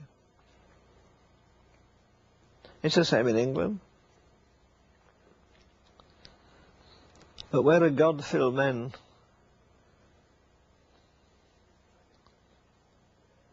I mean, Swaggart says the day after he'd been in that trouble, I was going to step down and let my son take over, but I woke up full of the Holy Ghost. No, he woke up full of tongues. He gave his tongues, and he took it That's a sign. But the gifts and callings of God are without repentance. I see a girl wearing a big ring, and she says, well, Jack gave me that. I go back to the church six months after and say, well, oh, did he get married? Oh, no, we, we quarrelled after that. But you're still wearing the ring. Yes, well, of course, uh, Jack's gone, but he left his ring. By the same token, the Holy Ghost has gone, but he left his gift. The gifts and callings without repentance. Who moved London more than Irving? Edward Irving in his day. Carriages jostled each other, Parliament suspended so they could run out near this great orator. Every kind of sign and wonder built that colossal church. Then finally stood on the platform and said, I am the Son of God. I've kept this veil to you, but now here I am. There's everything. Men call him the 13th apostle. There's no, there's no questions about what happened. There's a whole book on him. I have it. And you've got all these amazing moves. I guess you've read something of Wigglesworth. Have you read John, John G. Lake? John G. Lake's books are published now by Christ for the Nations. There's four of them. That man is, well, here I'm standing here and I talk with Wigglesworth. Wigglesworth is here, I'm here, John Lake is up there. You talk about apostolic Christianity and it all, beyond anything we've ever known. I don't think it's the only answer. I think the answer is when people are so transformed, they're no longer mean, they're no longer selfish, no longer covetous, but they give themselves, I mean, when children say something happened to my daddy, he's been a Baptist for all his life, but something happened, or my daddy's been a Methodist, or now my daddy's been a charismatic, but something suddenly changed, he's become different, he's Christ-like. He speaks gently to my mother. He's concerned about us. It isn't, well, I'm going to the World Series, whether you like it or not, or I'm going to uh, a ball game, you know, Super Bowl. And I said to these preachers, you, well, you, You say, I can't take three days off. I say, he took more than three days off to go deer hunting. He took three days off to go fishing. Why can't you pastors set the standard and say there's going to be a meeting for pastors at least one day a week or one night a week when we get together, we evangelicals really lay hold of God for revival in our city. These kids round here will raise money to go to Hong Kong for three days or go to South America, but when they come back, as soon as they get off the plane, their compassion dies. Well, what are you going to do with kids like that? And they'll keep doing it as long as we want them. You know, oh, we took a number of our people from our church. We took them on a cruise. But you're touching the elite of the church all the time. You've done that year after year, and the poor people are struggling. If you can take six or seven days off for a cruise, can you take six or seven days off for a nation that's going to hell? What do you want to do? Kids in the street fornicating? People clobbering a man on the head and stealing his watch? That's sin to become before your eyes, before we feel. I mean, how many... It's all right to say I want to be like Jesus. Do I want to be like... Do I want Gethsemane? I've never heard a person yet, dear brother, and I've gone to church for 80 years. I've heard men say I was born again, I went to the cross, I've had my, I've had my upper room experience. I've never heard a man say I Gethsemane experience. I've a broken. My dad was the nearest of that. My dad couldn't say grace at mealtime without tears. Uh, right now I have invitations to seven different, I'm not going to one. I said, because if people say, what's happening in America? I can't say there's revival anywhere I know. I said, do you think I'm going to talk to them about the Holy Ghost revival when we're dying and doomed and damned here? And we go running into worse trouble. Well, isn't the scriptures? What does God say? I can't give you glory because you honor one another. That's one of the biggest hindrances we have. Like John Wimber stood up, wanted to eulogize me. And I said, if you do, I'll walk off the platform. Well, I went to say, well, first of all, we talked about revival. He said, well, you, you told Bickle that in revival you don't make altar calls. I said, you don't. He said, I've never been in a meeting like that. So I said, when we come, I said, let our David speak an hour before I do. And our, our David's free now. He's pulled out from a church. He's free to go anywhere.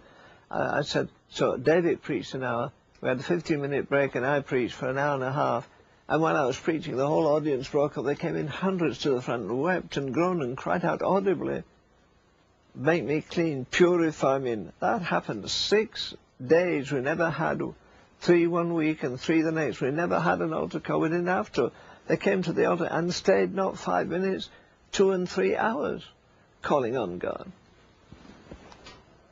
You read Luke chapter 3, what does it say? John was preaching, and the people cried out, what shall we do? And the soldiers cried out, what shall we do? And the publicans cried out, dear God, when heathen men start crying out, what should we do? You know God's there. There's no pleading altar calls. No, what did they say on the, on the, on the day of Pentecost? Men and brethren, what shall we do? We're panicking with. Well, the altar doesn't mean anything to people now. They come out every week. We're Romanizing our Protestant. Oh, get your sins forgiven and go back and do the same lousy thing. It's ridiculous. You don't do that if you go to death.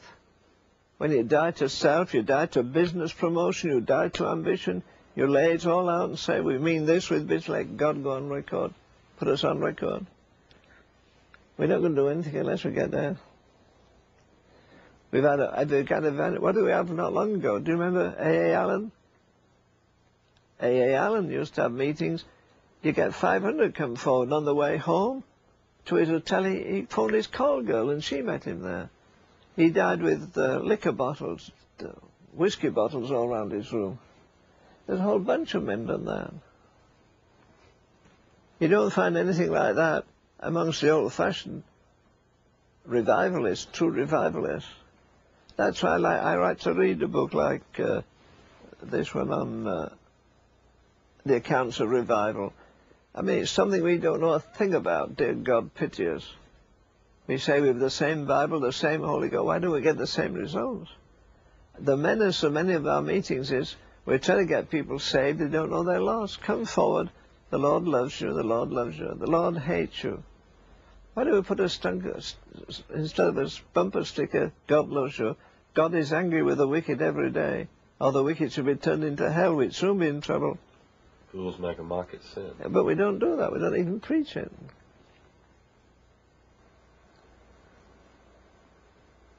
Well, I know there's a hunger across America by the phone calls I get, and uh, guys are coming to a stone wall now. They, uh, there isn't a there isn't a church in this town that's having a move of God. They say. Well, pray till there is. Get together, and. Uh,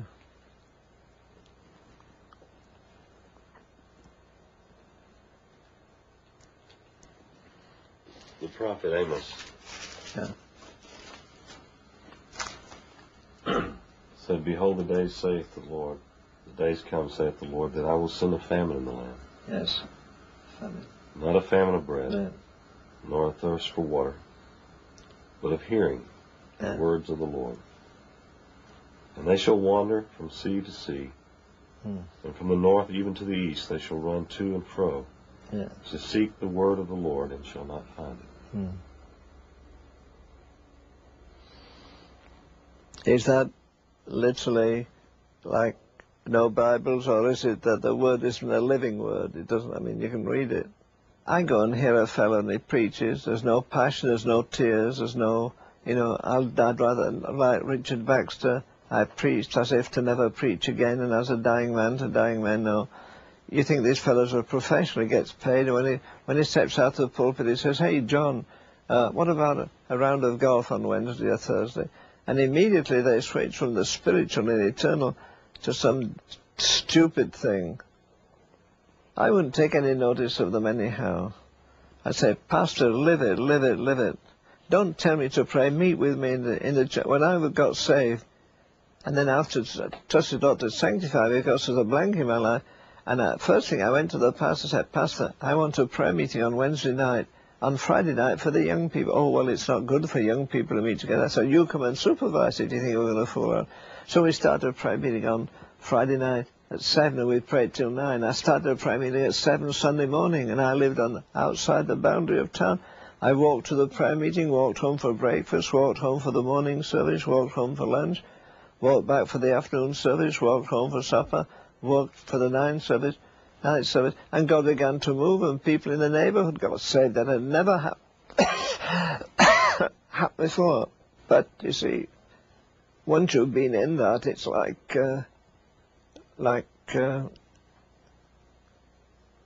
I say not not Colonel Brengle, but Major Thomas said, no Major uh, Russell that once he got back in the fire of the Welsh revival, everything in him burned. He got on the train and going home to, he couldn't get back to London quick enough to tell that the Holy Ghost had fallen. And then, I mean, the first greatest revival in England was the Wesleyan revival that went to 90, no, the We- Wesleyan revival. And then the next one was the Salvation Army, which that went into 70 countries in 90 years, not 70, but 70 countries dear God, they had the most amazing night prayer meetings and training students and getting down to the Bible and prayer. And every week they were taken to a night of prayer. They were taken to street meetings somewhere in London. They were meeting sin head on and visiting taverns, talking to harlots, which nobody does now except just about Dave Wilkerson and, and Tim Delaney down in uh, in the Motor City there doing the same thing.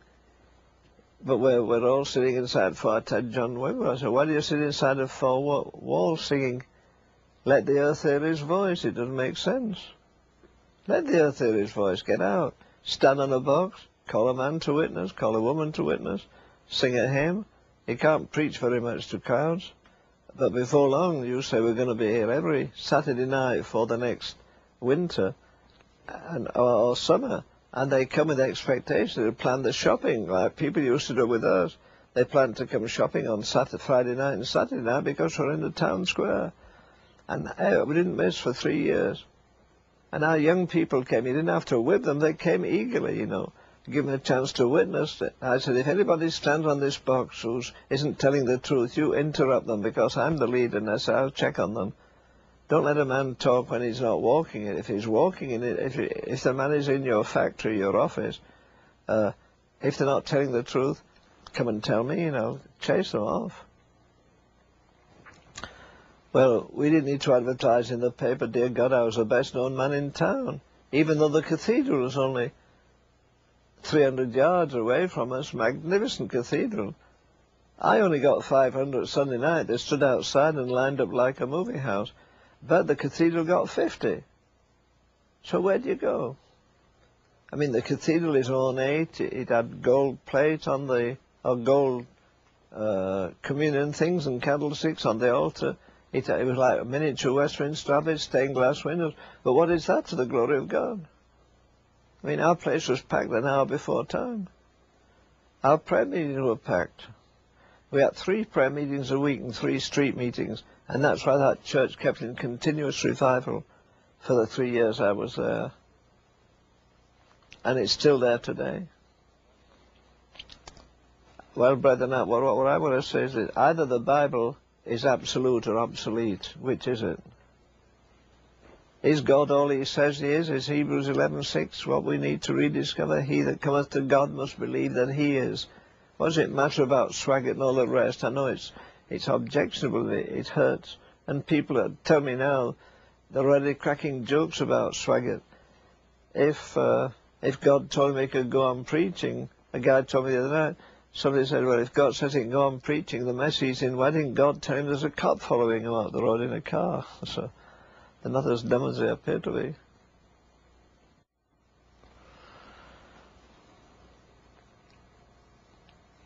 I think it all boils down to one of the oldest hymns we hardly ever sing it. Trust and obey. There's no other way. No other way.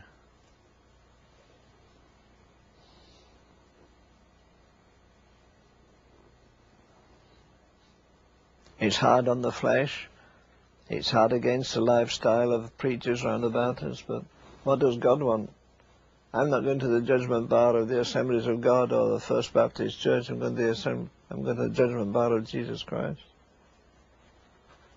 And I live with that every day.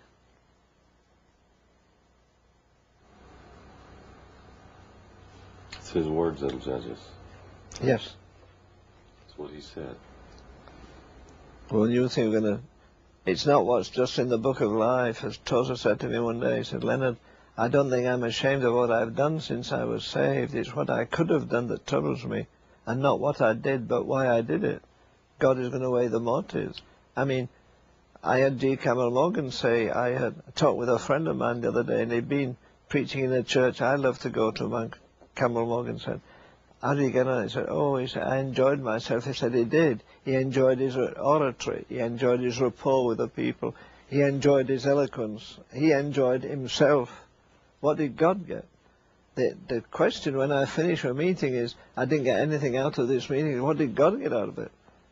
What do people say going out? I think, dear brother, if I was where God wants me to be, where I should be, I would leave a meeting with tears running down my face at the glory of God, or that all these people outside are glued to the TV this afternoon, this Sabbath day, and they're not a bit interested in God.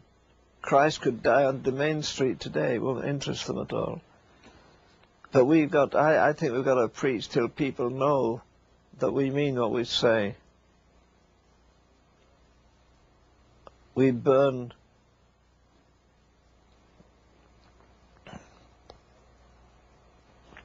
Edwin Hatch was uh, Chancellor of, uh, I think, St Mary's Co Co College in Oxford, uh, one of the best guys in England. But one day, even though he had crowds and everything, he, he got so tired, he went in his office and he wrote that gorgeous hymn, Breathe on me, breath of God, fill me with life anew. Then the last stanza, Breathe on me, breath of God, till I am wholly thine, till all this earthly part of me glows with thy fire divine.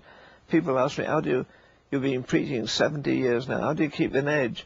Because I read stories on revival, because I read the Word of God, and I see what the apostle did. That Paul can laugh at death and laugh at hardship and sit in the lousiest prison in the world and tell other people to rejoice. Or he can give you 2 Corinthians 11 and go down seven times in for weariness and the fasting, in perils of the deep, in perils of mine own countrymen, in perils, perils, enough to kill ten men. And glory in tribulation. Doesn't just find grace to get through. He welcomes it. He said, this is the only way. Because when we get to heaven, uh, dear brother, God is going to ask you where your diploma is. He's not looking for medals, he's looking for scars.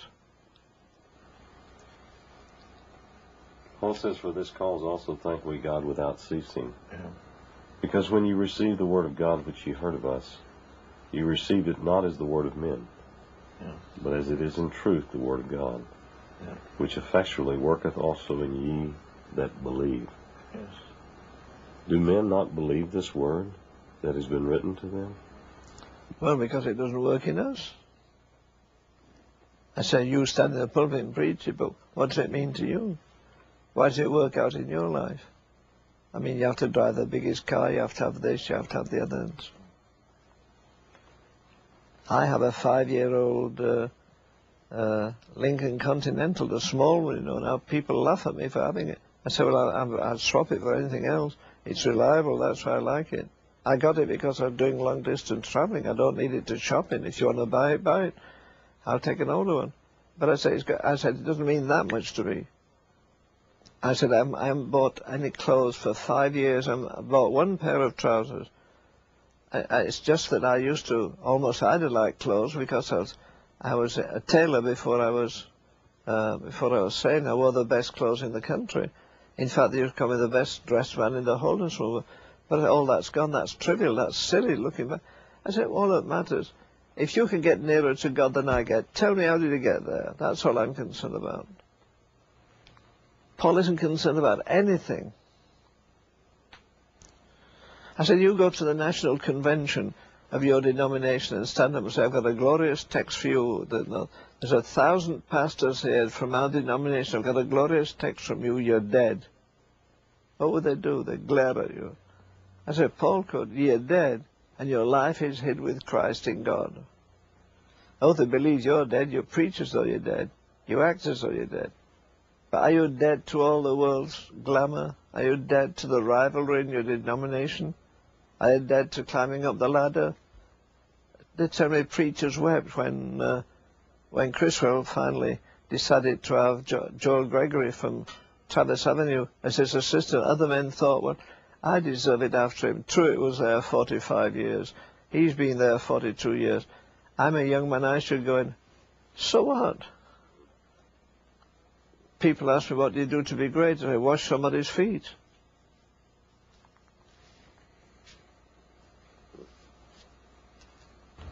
Was A.W. Tozer your mentor? Yes.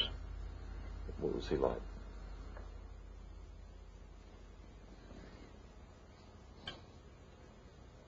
Well, there were different ways to answer that question, but I'll tell you one thing about him. Uh, it was the same with uh, Martyn Lloyd-Jones. I talked with him. G. Campbell Morgan, I listened to him often. So Martyn Lloyd-Jones and George uh, Campbell Morgan and Tozer had one thing in common. When they went to the pulpit, they never raised a finger, never raised a voice. They didn't depend on histrionics to get the message of. Dr. Tozer had a habit of, uh, like he'd have his, uh, he'd have his Bible in his hand, say, I'm reading from John 17:1, and he begin to read, and and he maybe give a little outline, and and then he, he rocked to and fro like this, then suddenly he'd throw his Bible on the pulpit, and at that moment he was airborne. It's like a like a plane getting off the runway, and off he went. And uh, he wasn't the greatest preacher I've heard in my life, but he had the most uh, intimacy with God. Uh,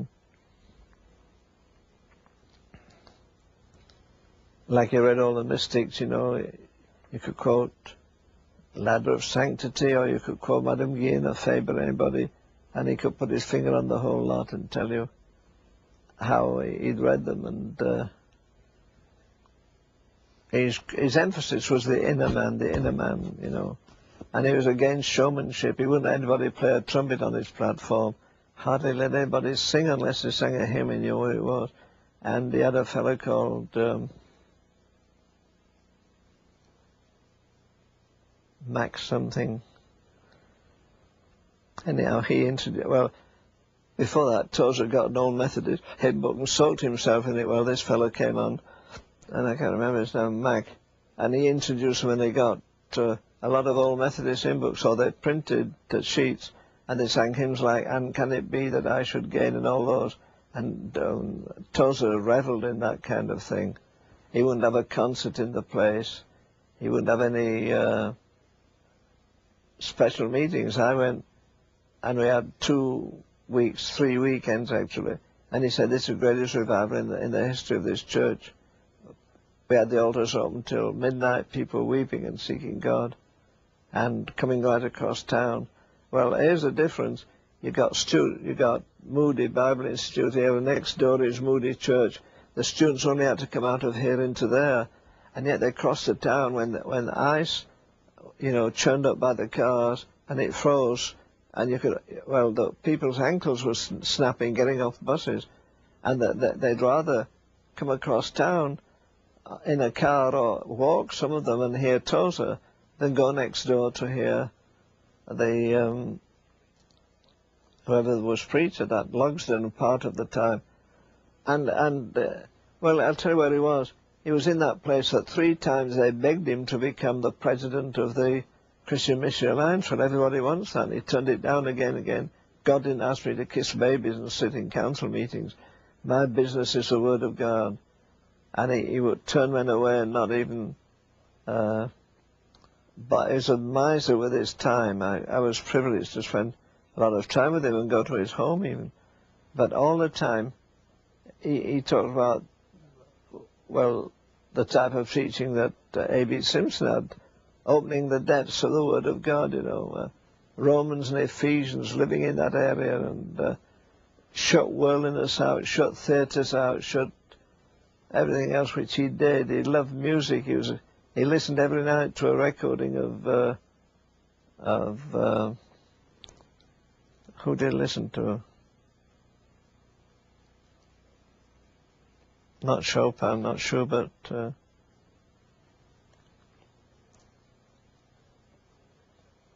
And I would get symphony. Oh, every night he had one hour listening to uh, good music.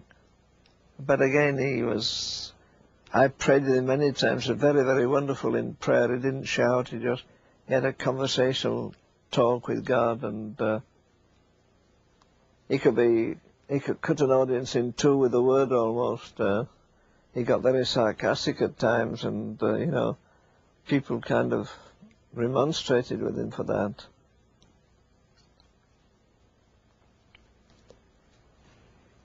He refused all invitations until the very end he stayed in one church 25 years, and he didn't get a very big salary, so.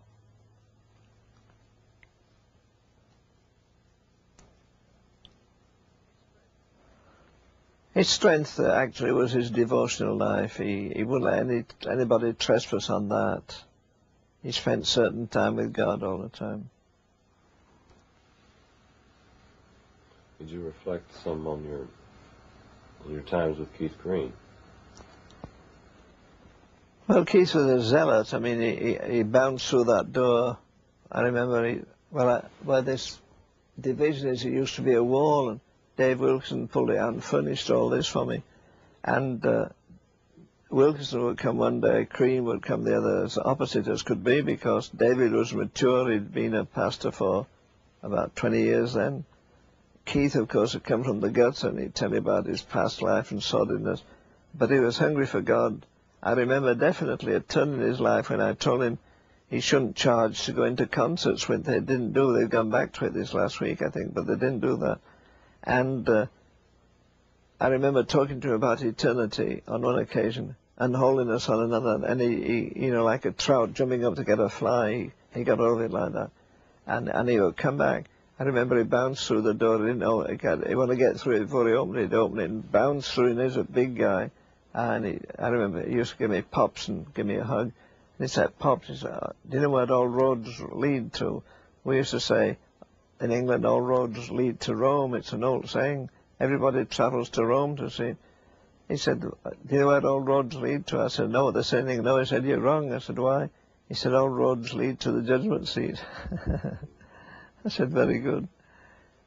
And he had a, I don't know, uh, I've never read this anywhere, but I think it's right to say he had a holy fever, or if you, if you like, a fear of God.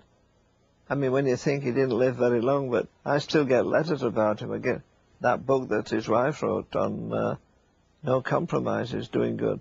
and uh, they still send his tapes out. In fact, he wrote the he wrote the uh, Catholic Chronicles that they withdrew. Somebody wrote to me this week and asked if they could ever say it because God used it tremendously, but it got them into trouble for not being friendly enough with the Catholics, so they withdrew it. But uh, and he loved to pray. He'd say, "Can we pray?" And he'd get down and really pour his heart out, you know. And uh, he had visions of what God wanted to do in this area, and he was because other people couldn't keep up with him. They thought he, maybe he was, he wasn't mature enough, to, in one sense, for leadership. You know, want everybody to jump up to his level, which you can't do any more than I could jump up now to the level of a, an Olympic runner. I, I used to run, I'd like to run, but I can't. I'm glad even to walk. But he was like that. I mean, he, he saw eternal things. And if, if they weren't clear to you, he couldn't understand your stupidity. He couldn't understand why you're not leaping and, you know, and going full pace. If he fasted, he fasted. If he prayed, he prayed. There's a uniqueness well. My, my precious wife has a tremendous insight to people. The first time she saw him, she said, Len, uh, the Spirit of God is on that young man. And uh, in England, you, you know, you've got two kidneys as opposed to match, function the same. Well, in England, they say, well, that man isn't your kidney. In other words, you know, it's not your, if you want to call it alter ego, what you want to call it. But immediately he came in, she said, well, there's something unique about, uh, and there was about him, and, and they don't have it now, they know that. I mean, he, he was willing to live at full stretch, and he expected others to do the same thing for him. And, uh, he was a good reader, he liked to read Tozer very much, and uh, he liked to read David Brainerd, or he liked to read the three volumes of um, Edward Payson. He read that too.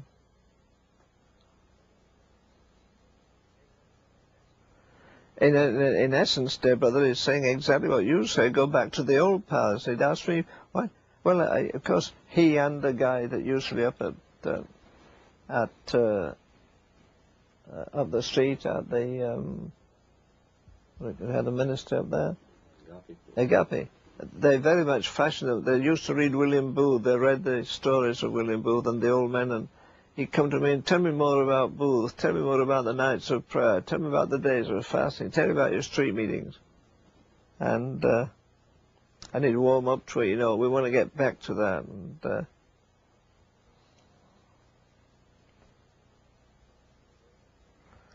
it's one of those mysteries. You don't know why God moves men along like that, but anyhow. Well, Ravenhill, how would how would you want people to remember you? Oh, I don't know. As a nuisance, I think.